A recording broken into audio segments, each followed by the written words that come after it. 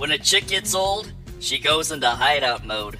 I've noticed this trend in females. They do this thing where they go into hiding. It's like a stage of their life they go into.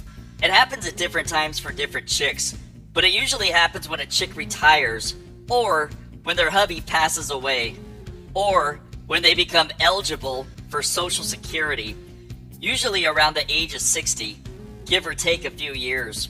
I've seen this happen personally to women I've known, and they slipped into this mode.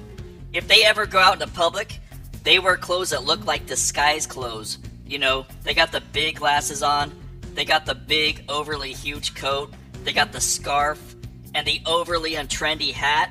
I mean, what's up with that? And no, they're not wearing this stuff because it's cold outside. In this hideout stage, they usually check into a small studio apartment, and they barely ever see the light of day. The place gets crawling with cats. The stench of cat urine and Purina cat chow fill the room. They get their wine and their groceries delivered to them. Most of the time, they won't even come to the front door to sign for a UPS package. They will barely ever leave the house. All their financial stuff they do online. They don't want to be caught dead in public by somebody they know or somebody that they used to know. They don't want a soul to see them in their non prime. So they watch TV all day long.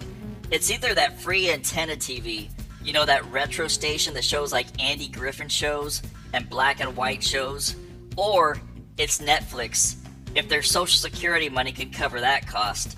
And they binge watch that crap all day long. You see, they've reached a point in their life where they have given up. Their looks are 100% gone, and it is soul crushing to them.